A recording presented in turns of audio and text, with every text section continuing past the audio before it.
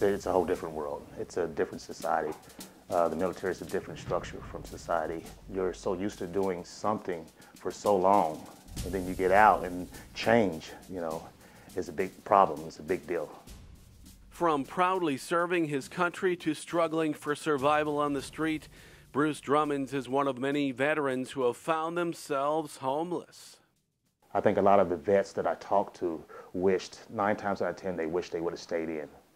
You know, they got out for whatever reason, you know, being young, thinking the grass is greener on the other side, uh, and they get out and then they're lost.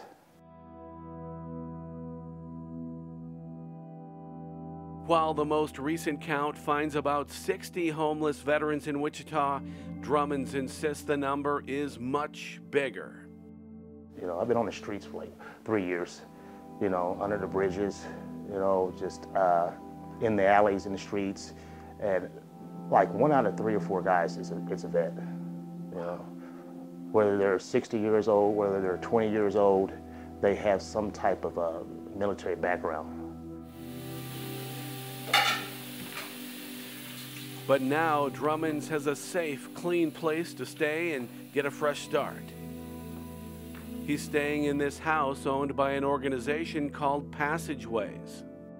When these guys come here, they have their own bedrooms, they, they have somebody they share it with, but it's their space and it's always waiting for them and it's always safe here and comforting. They can call us anytime and they set their goals and they, they start meeting them. Jennifer Garrison and Susan Moellinger formed Passageways last fall. It's a nonprofit aimed at helping homeless vets transition from the streets to permanent housing and productive lives.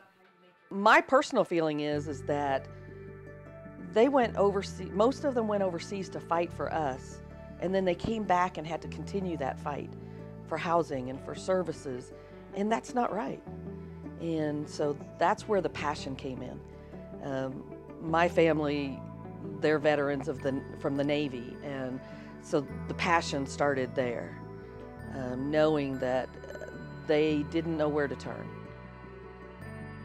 They have done so much for this country, and to listen to their individual stories and what they lost when they came back relationships with parents, with siblings, divorces. Um, post-traumatic stress syndrome and not having someone there to walk these guys through those issues and let them know that you've, you've been through a lot and you still deserve an amazing life. And let's see if we can get you back up there.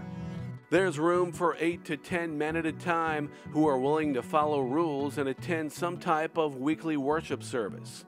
Meanwhile, they get help with a lot of different things from the small staff of volunteers. We start talking to them about, you know, what are your goals? Not just finding a job, but what job is going to fuel your fire? What have you done in the past that you just absolutely loved? And then we go from there. We make sure they have their social security cards, birth certificates, um, driver's license, and we get everything updated for them. And then they can take off and just run and, and get a job. We do not charge them for staying here.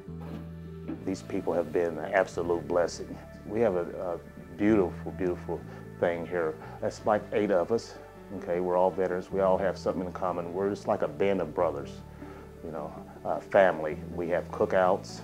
We go places. We go shopping. You know, it's just a, been a wonderful experience for us. We watch movies on the weekends. Uh, we sit down and we have talks with each other. You know, we ask each other, how you feeling today?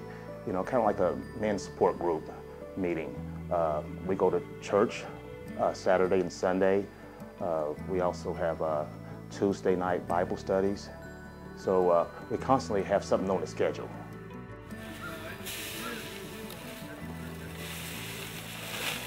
Drummonds hopes to be on his own soon and then start helping other struggling veterans get their lives in order and start living the American dream they fought so hard to protect.